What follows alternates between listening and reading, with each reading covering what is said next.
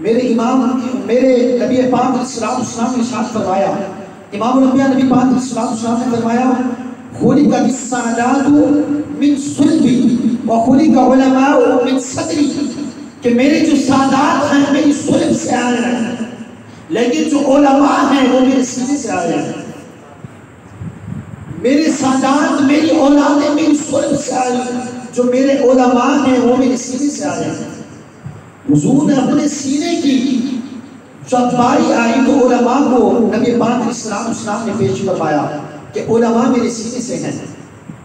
उलमा का मकाम ये है। अल्लाह अकबर। नबी पाक इस्लाम इस्लाम ने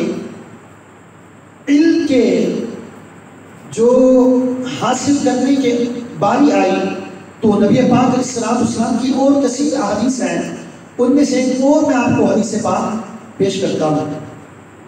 नबी पाक इस्लाम ने फरमाया कि ऐ मेरी उम्मत, अगर तुम्हें कुछ बनना हो, अगर दिल के अंदर तलब हो कुछ बनने की तो मेरी शरीयत के आलिम बनना।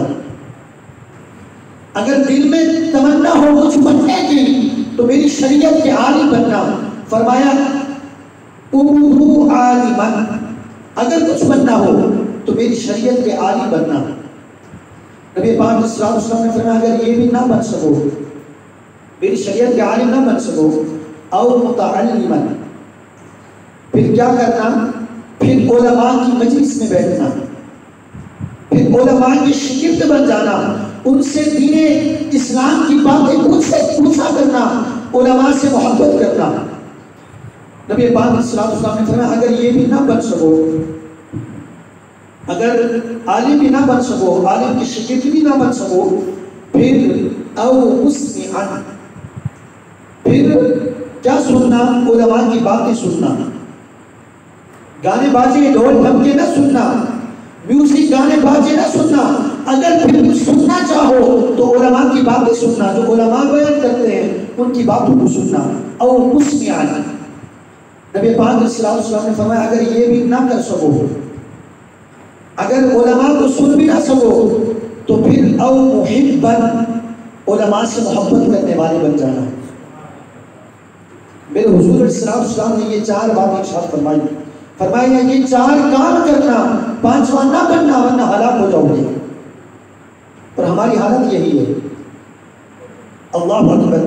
प्यारे भाइयों, हम अगर आज उलमा को सुनना चाहते हैं उलमा से मोहब्बत करना चाहते हैं।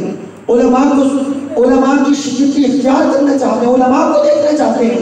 तो उसका एक ज़रिया मैं आपको बता देता हूँ। ये चारों काम आपके पूरे हो जाएँगे। ये चारों काम आपके पूरे हो जाएँगे। वो किस तरह कि हर हफ़्ते को मेरे पीर मुर्शिद अमीर है सुन्नत हज़रत अल्लामा मौलाना मोहम्मद इलियास कादरी रस्मी दामन बरकत और आगे मदनी मुजाकरा फरमाते हैं। मदनी मुजाकरा फरमाते हैं। वहाँ पर क्या है? आपको उलमा की इजाज़त भी होगी। उलमा के जो मसाइल बयान किए जाते हैं, वो मसाइल सुनने को भी मिलेंगे, आपको उलमा की शिकती भी मिलेगी। और जो उलमा बयान करते हैं, उनकी गुफ्तु सुनने को भी मिलेगी। जब आप गुफ्तु सुनेंगे तो दिल के अंदर मोहब्बत पैदा होगी। हुजूर की इस फरमान पर भी अमल हो जाएगा कि उलमा से मोहब्बत करने वाले बनना से मोहब्बत करने वाले बनना। तो आज